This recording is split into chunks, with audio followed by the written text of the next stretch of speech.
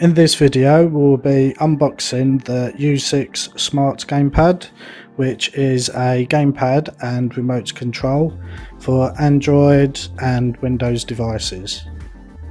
Inside we have a quick start guide in English which contains all the information how to get up and running and all of the features.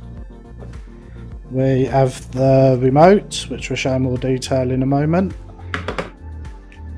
you have a USB charge cable. So onto the remote, you've got a touchpad here for moving the mouse cursor, you've got a digital D-pad, two analog sticks, gaming buttons and on the top are two shoulder buttons, headphone socket and the charging port for the rechargeable battery. At the bottom you've got a full QWERTY keyboard and media buttons here. You've got start and select and back buttons.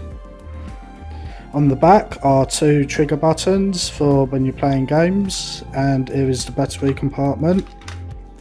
Inside here you can find the USB dongle. So this plugs into your Android box or Windows PC.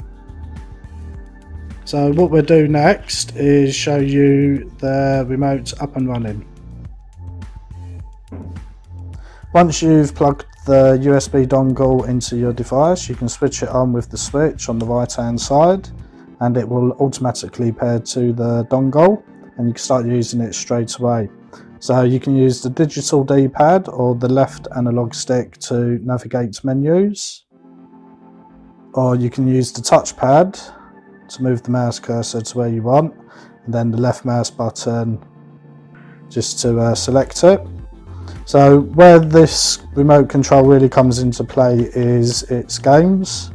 Um, for most majority of games it just works straight out of the box. You don't need to make any button changes or anything like that. So we'll just quick, quickly show you um, a game and the emulator. Here is the gamepad in action with one of my favourite games, Dan the Man. Uh, the buttons work straight away, there's no need to configure them or setting up, you can just get straight into the action. As you can see the buttons are very responsive, um, there's no lag in when you're pressing the input or anything like that.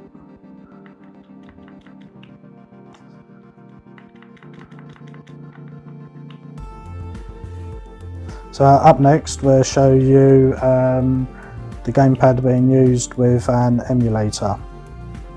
So this is a Super Nintendo emulator.